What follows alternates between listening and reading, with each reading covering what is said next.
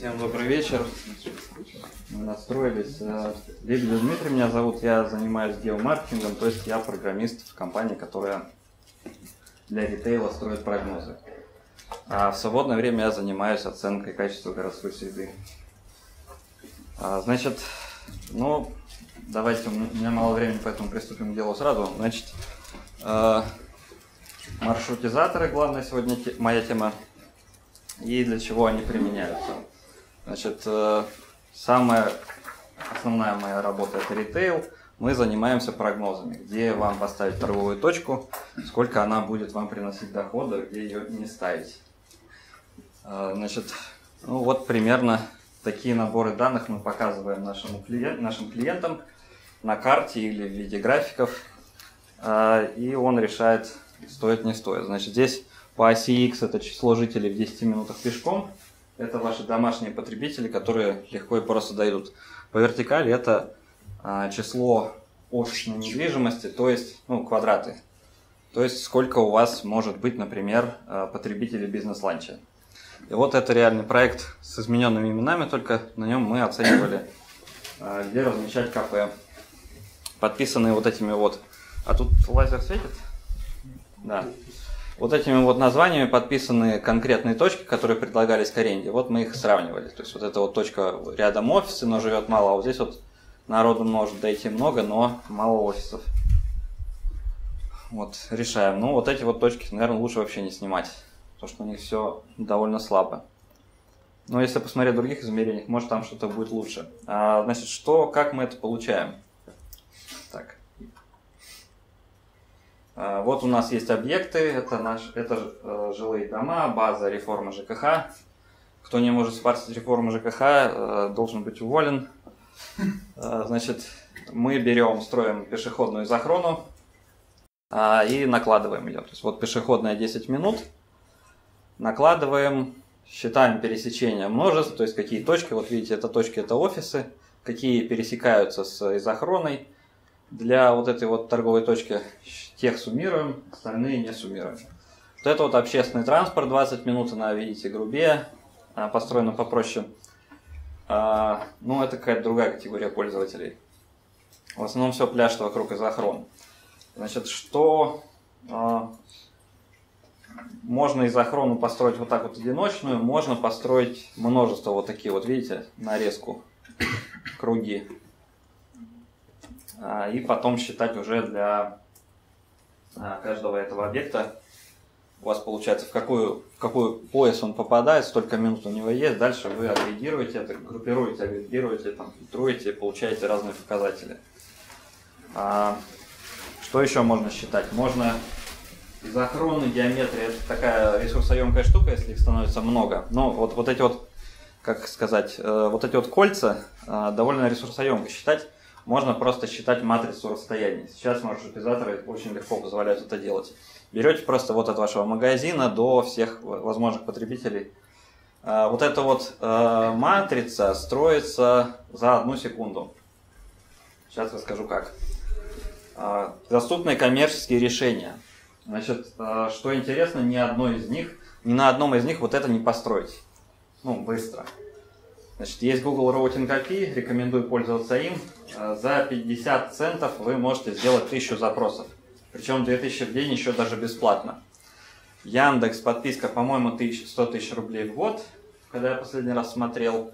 Э, ну, если вы любитель или мелкая фирма, то это вам не интересно. И дубльгиз, э, значит, 30 копеек за запрос, 100, 100, 1000 запросов 300 рублей. Это дорого, и вам придется подписывать договор. А, лучше не морочить себе голову, в Google забить карточку и пользоваться им. А, значит, какие виды маршрутизации нам потребуются? Во-первых, автомобильная, во-вторых, пешеходная и автобусная. Ну, общественный транспорт. Велосипедный не рассматриваем, потому что пока не практично, не требуется. Ну, значит, самое распространенное решение, теперь все им пользуются, open source routing машин. Он вот этот вот маршрутик до Владивостока строит за пару миллисекунд. И это работает уже довольно давно. Такая штука. Он open source, можете его скачать, поставить. А, делается это все довольно легко. Немножко повозившись с докером, вот мне пришлось по работе научиться им пользоваться. Docker, Docker Compose. Вы качаете образ, вы качаете э, значит, нужный вам регион из OpenStreetMap и запускаете докер по инструкции, как там приложено. У вас работает машина, в которую вы вот, вот эти вот запросы отправляете, а он вам строит их. Самое интересное, в нем можно вот эти вот, сейчас э, я вернусь назад, вот эту вот пачку запросов, у него есть специальный метод, называется матричный запрос. А, значит, отправляйте сразу 10 тысяч пар маршрутов, и он вам это все насчитывает быстро. Дальше расшифровывайте. Значит, ну вот, например, изохрона, построенная по автомобильному дорожному графу. То есть это все из коробки, никаких, никакой работы ручной не было. А, единственное, значит, вот это вот минуты. Глядя на эту карту, как, какая здесь странность вам видится? Я слышу смех. Где пробки? Да. Вот, правильно, да. Где пробки? Пробок нет. Это, по-моему, даже быстрее, чем ночью ездить. Ну, я не ездил по Москве ночью, поэтому не знаю. А, значит, что делать с пробками? OSRM позволяет положить вам файл с пробками ему туда дополнительно. Причем даже не перестраивать полностью граф, а там он два этапа строится и со второго этапа переделать его. Есть там опции ускорения и прочего. А, единственное, значит, как ему надо эти пробки делать. Вот OSM хочет вот этот вот, а, скажем, сегмент дороги. Вот здесь вот много сегментов. OSRM хочет, чтобы вы ему положили файлик вот с каждым вот этим вот сегментиком, парой точек, где говорится, а, значит, первая колонка точка номер один, вторая колонка точка номер два и третья колонка скорость километров в час. А, вот этот вот файл делать муторно довольно, но э, значит, пришлось повозиться, я его сделал. Э, значит, берем треки, скачиваем, фильтруем их по максималке по средней. OSRM а, же позволяет вам привязать, вот видите, треки здесь срезают угол. Нереально. OSRM привязывает треки к дороге по вероятностной модели, так, чтобы машина у вас не ехала обратно. Он, значит, эти точки а, вот это вот с поправкой на ошибку привязывает наиболее вероятный вариант, что она не дергается, не летит со скоростью света, а едет так равномерно. Он это привязывает к дороге, получаем трек, дальше берем, пишем запрос, а, у нас загружен дамп в Postgres уже, уже придется повозиться. Выбираем вот эти вот сегментики, берем сегмент, смотрим, с какими треками рядом он лежит, получаем там среднюю, ну как хотите, считайте. В общем, у вас получается скорость, вот вы выгружаете из него CSV-шку, у вас работают пробки. Ну, собственно, вот забыл я про этот слайд, короче, здесь описание, что делать. А если кто-то хочет документацию, вот можете сейчас сфотографировать вот этот URL, ну или гуглите его. Будешь фотографировать? Да. Это не будет выложено, да? Все. Это будет выложено там в конце уровня. В конце уровня на слайде. А, но вот, значит, после подла... того, как я подложил пробки, вот что получается. Ну, по... больше похоже на правду, хотя как-то тоже оптимистично. А, а числа это минуты? Минуты, да. А, изменилось. Ну вот, вот было в том же масштабе. Вот стало. Очень сильно. А в районе МКАДа там вот она сплющилась вот так вот, по МКАДу не едет. Что, по-моему, хорошо. Следующая маршрутизация пешеходы. Довольно проблемная штука. А, значит, ну, вот просто так строишь по городу, смотришь, вроде нормально. Все хорошо. То есть вот это вот 10 минут пешком от торговой точки, все хорошо. Она даже учитывает препятствия, то есть вот железная дорога, здесь мост через нее переходит. Это все из OSM, из коробки, прям скачанный файл из OSM. Вот здесь тоннель, пешеход проходит. Ну, здесь она сглаживает его, интерполяция, но несущественно, потому что здесь у нас никаких домов нет. Но есть у этого подводные камни. Видите человека? Он по воде ходить может? ОСРМ считает, что может. Сейчас, сейчас вы увидите как. Значит, я кинул сетку на карту, сетку точки. Вот эти вот стрелки показывают, куда человек перелетел по мнению ОСРМ. То есть он, он ищет ближайшую точку на графе, он не знает, как двигаться без него. Это, ну, дублерис сделал там какую-то э, навигацию по плоскости. По? И что? По растрам? По растрам, да, вот. И, значит, у нас здесь еще Михаил Гуревич, который занимается этим профессионально, своим проектом Android Planner. Вот. Но SRM э, на больших масштабах такой не потянет, поэтому просто привязан к ближайшей точке. Ну вот видите, да? Вот через реку перелез, вот через реку перелез, через промку и железку. А, иногда из леса он выбирает самую длинную дорогу, а не самую, где пройти по... То есть он выберет ближайшую дорожку и дальше там в обход пустит. А, Пушкин. Да. А, значит, решение может быть просто взять точки, привязать их, ну, взять точки вот куда они упали, там и брать. Вот он на дороге стоит, честно на дороге, да. А, проблема в том, что теперь если делать вот по этой вот триангуляцию штуку, то вот что вот здесь думаете произойдет? Кто геометрией занимался? Алгоритмами. Нет, ну, короче, э, я тоже не занимался алгоритмами этими, но, в общем, оказалось, здесь и триангуляция ломается. Здесь много точек рядом, и треугольники нулевой площади получаются. И просто эта штука вам говорит, я ничего не могу сделать. А, Matplotlib, который это строит, он говорит, я ничего не могу сделать, все, нет, не будет тебе никаких э, изохрон. Короче, деление на ноль практически. Да. А, еще проблема. Ну, то есть, вот, вот так не делайте пешеходный граф, лучше обратно все-таки. Лучше вот пусть он ходит через реку, но а, не ломается хотя бы. А, отсутствующий граф. Звучит как заголовок романа. Значит, вот мы пытаемся сюда пройти. Я отправляю пешехода. А вот это вот сетка точек и куда она прилетела. То есть это вот те же стрелочки опять. Видите, они все прилетели в несколько точек практически. Вот здесь вот они как-то там перескочили еще, а вот здесь вот все-все-все, вот это вот улетело вон туда. А, выясняем почему. Оказывается, вот эта вот дорога, по ней пешеход не ходит. А вот этот вот поселок, это анклав. Он отсечен этой дорогой от всего остального мира. Пешеход не ходит. Маршрутизатор наш решил, значит, мы, раз вот это вот отсечено от остального мира, выкинем вот этот вот подграф, ну это не подграф даже, это просто от- отдельный граф. Он выброшен, его нет, и поэтому все, что там есть, все маршруты, они схлопываются, где-то вот здесь вот считаются. Поэтому здесь тоже ломались изохроны. А, Пришлось переписать правила о СРМ по инструкции, почитав ее, чтобы а, вот эту дорогу, он, пешеход ее не любил и передвигался там очень медленно, ну это как такой вес, а, как эффект веса, но хотя бы граф был в рабочем состоянии. Ну и вот мне пришлось еще там порисовать этот граф. А, Через два дня он в, в этом в выгрузке УСМ появился. Общественный транспорт.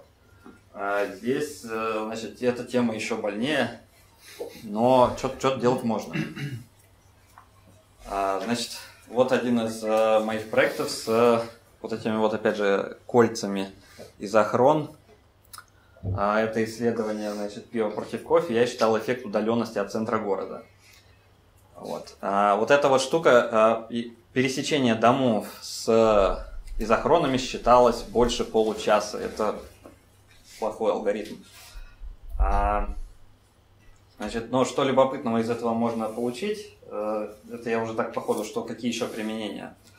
А, удаленность и плотность застройки. Вот это вот серое, это квартиры, количество, ну, домохозяйств, грубо говоря.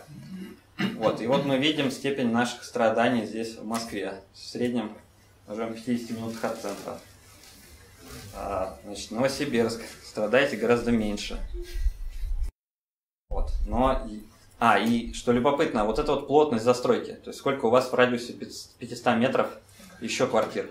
Вот а, в городе здорового человека а, там плотность снижается по мере удаления. Вот, а, ну, исследование про пиво, значит, вот это город алкоголика. А здесь по мере удаления плотность растет. И, значит, любой транспортный планиров- планировщик вам скажет, что это неправильная планировка. Надо делать наоборот. А Новосибирске удивительным делом, ну вот там анклавы тоже они есть. Екатеринбург, самый здоровый город. Достаточно компактный. В среднем 35 минут, по-моему, получается человеку до центра. А, еще одно применение оценка транспортной доступности. э, я не буду много рассказывать. В общем, вот из охраны взяты где-то вот, вот Москва, вот Питер.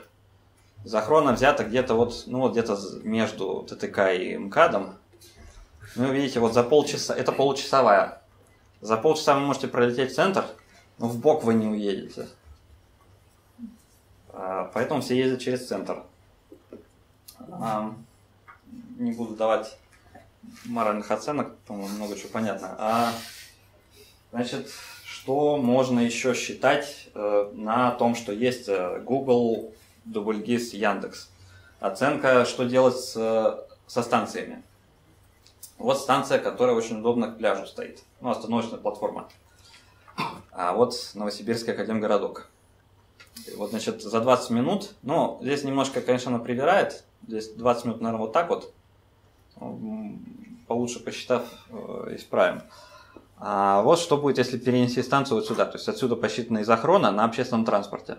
То есть а- автобусы, маршрутки, которые там проходят, они подбирают пассажира, и вот 20-минутный из охрона сразу же захватывает 20 тысяч человек. А, активистам полезно будет такое показывать. Значит, что из коммерческих решений есть, э, не устраивает, не очень меня устраивает. Ну, можно, конечно, придумать всякие многослойные маршрутизации. Google, э, значит, пользуйтесь Google, простой совет. Э, Можете дубльгисом, если вас не беспокоит юридическая сторона вопроса. Вот. А Как Яндексом пользоваться, я так и не понял.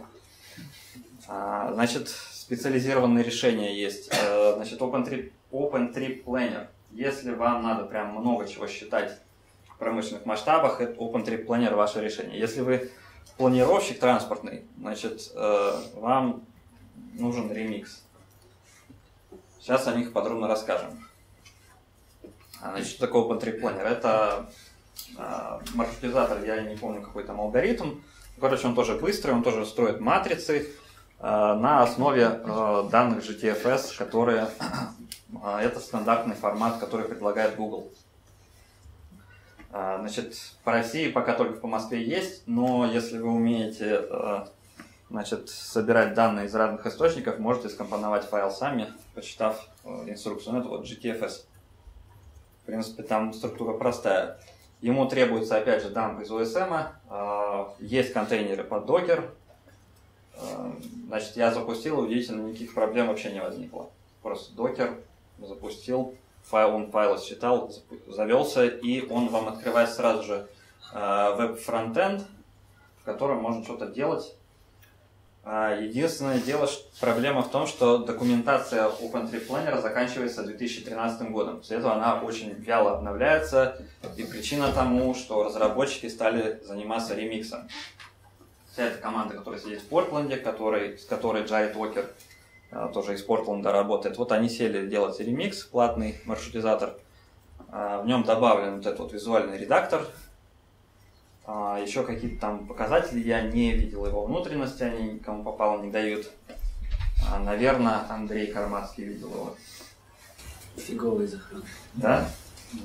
Мы заводили как раз Open Trip Planner со Степой, просто потому что ремикс транзит строит кругами концентрическими, там сеткой точно спешила, там нет пешего ротинга и, в Destination, ну, как они строят изохроны, они просто ставят кружки, э, воспринимает пеший радиус. Trip Planner, он на этапе подготовки графа он склеивает GTFS и, соответственно, OpenStreetMap'овский дамп, потому что из OpenStreetMap он берет пеший граф, Мгм. а общественный транспорт он берет из но OpenTreePlanner это дико жручая память собака. Мгм. Ну, Ну да. На Яве. В общем, готовьте хороший сервер, чтобы быстро.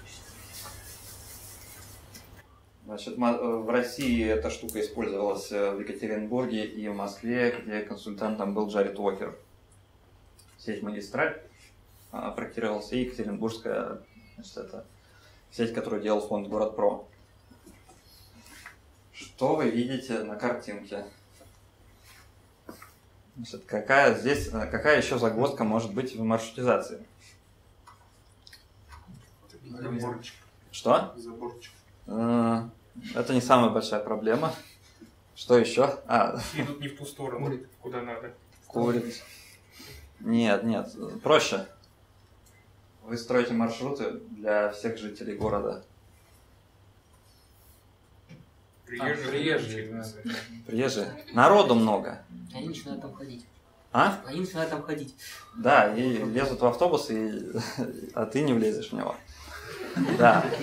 Скажем, скажем просто. Короче говоря, э, проблема в том, что а, значит, автобусы заполняются. А, Кто не москвич коренной, тот прекрасно знает, что такое маршрутка и в час пик, и очередь на маршрутку. А, Значит, э, ну и пробки на дорогах. Вот, э, значит, посмотрел я, что делает Яндекс с э, пробками. 2014 год, лекция в ШАДе. А, Значит, Яндекс на голубом глазу признается в том, что они делают очень оригинальное решение, не используя чужой опыт. А, Я в корне не согласен с этим решением. Ну, то есть, э, а- они что говорят? А, Мы, типа, мы делали статистическую модель, делали всякие регрессии, авторегрессии, и это плохо прогнозирует пробки. И, по-моему, ситуация такая же до сих пор. Короче, э, я не согласен с этим подходом, я сделал не так. Значит, транспортные планировщики, они на то транспортные планировщики инженеры, чтобы заниматься своей отраслью и знать очень много подробно. А, Значит, э, в Германии, если в городе где-то возникают пробки, они достают этот вот симулятор PTV, PTVision, а, делают на нем моделирование, делают разные варианты, обсчитывают, находят вариант, который сокращает пробки, делают его, и в реальности так и происходит. То есть у них эта модель, прогноз дает точный. Пробки рассасываются. Ну, может, не в течение часа. У Яндекса, конечно, здесь э, задача другая, спрогнозировать пробку моментально. У них, э, типа, с интервалом две недели. Ну, наверное, поэтому они не стали его использовать. Ну, короче, если вы занимаетесь каким-то массовым планированием, и вам нужно что-то более подробное, вот э, применяйте вот это. Значит, что Висим делает? Вот они симулируют Индию, левостороннее движение, моторикши, мопеды. А, машины двигаются не по полосам. То есть я думал, что они все по полосам едут. Нет, они едут все как попало. У них есть, есть распределение, есть водители тихие, есть агрессивные. Этот коэффициент и распределение, все это задается в параметрах. То есть они и под Россию, и под Индию, и под Германию настроят. Что из этого делается дальше? Вот перекресток запланирован, считается в разных режимах, сколько там чего приезжает к нему, а, сколько машин приезжает, когда он затыкается, когда возникает пробка. Получается вот всякие а, показатели характеристик. А, это планировка светофоров режима. Ну, короче, у вас получается вот там набор характеристик, сколько въезжает машин и когда начинает затыкаться, когда возникает пробка. После этого вы переходите, значит, симуляция перекрестка закончена, больше микросимуляции не делается, теперь делается большая симуляция всего города. У вас есть какие-то потоки, которые создают пробки, люди оптимизируют свое поведение, и получается какая-то средняя сбалансированная а, ситуация на дорогах. Если вы хотите оценивать какие-то потоки массово в больших количествах, вот вам путь туда. А, значит, еще одна вещь. А, значит, Висим, насколько я понял, он где-то лет 20 назад начинался. А, сейчас появились альтернативные, даже открытые решения. Vsim платный. Есть MatSim. Агентская модель, в которой у вас э, симуляция идет на уровне отдельного человека, который выбирает, как ему куда ездить, стоит ли ехать вообще и каким способом. На машине, на автобусе и так далее. Вот. И вот здесь вот стрелочки видно, это вот те самые агенты, которые там едут. Там прям автобусы ездят. А, Значит, погуглите вот это вот слово, у них там есть куча примеров. Он написан на Яве, потребляет собственный XML. А, GTFS потребляет... а, Нет, GTFS не- потребляет. Ну, короче, если вам нужно что-то такое серьезное и большое, вот а, вам путь сюда. А, Итого, значит, если вам надо построить просто для, на небольшом масштабе что-то простенькое, берите Google. А, Если вы хотите что-то, ну, ну это, это если у вас там несколько тысяч маршрутов. Если хотите, и несколько изохрон. Если хотите массово что-то, и там, как мне по работе, там, тысяча изохрон или несколько тысяч изохрон за день, тогда, значит, ваша дорога это ОСРМ. А, если вам нужны пробки, в принципе, их можно брать или из ОСМ, или из Гугла а, отдельные ребра граф качать, накладывать. Если вам нужен еще более массовый с общественным транспортом, ваш путь в SRM Open Trip Planner. Если вам Google уже становится дорогой, ну и наконец, если вы суперпрофессионал, вот MatSim. На этом все. Вопросы?